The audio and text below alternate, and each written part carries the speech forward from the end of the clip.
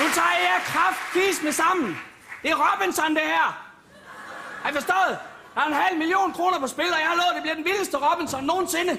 Jeg er en hård banan. Og jeg er den mest kontroversielle tv-vært i Danmark. Ej, du behøver ikke at stå og råbe sådan her, Jacob Kjellberg. Okay! Okay. I er blevet inddelt i to hold. De dumme, og så er de direkte retarderet. I er de retarderet, og I havnet i et ø-råd, hvor en af jer bliver stemt hjem. Men først, så har jeg noget, jeg vil afsløre. En af jer er hyret af mig. Ej, helt ærligt, så er I bare mindfucket os totalt meget igen. Jeg har hyret en fransk mimer til at infiltrere, infiltrere jeres gruppe. Har I nogen idé om, hvem det kan være? Pia.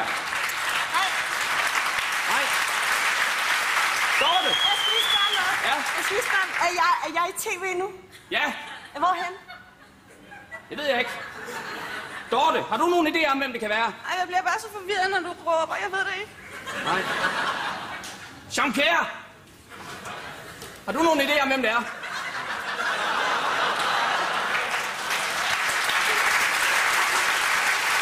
Du har følt dig, du har følt dig meget i modvind på den her ekspedition.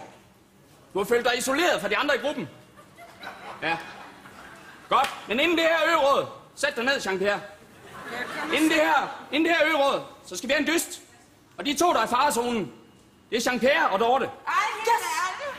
I skal dyste i togtrækning. Og den jer, der ryger ud, er ud af dette års ekspedition. Stil jer op i kurvene. Når jeg har talt til tre, så trækker I i toget.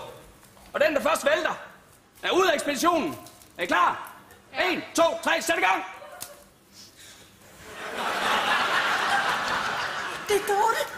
Jakob, det er dårligt min mimeren.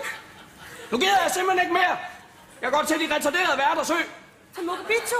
Nej, TV3.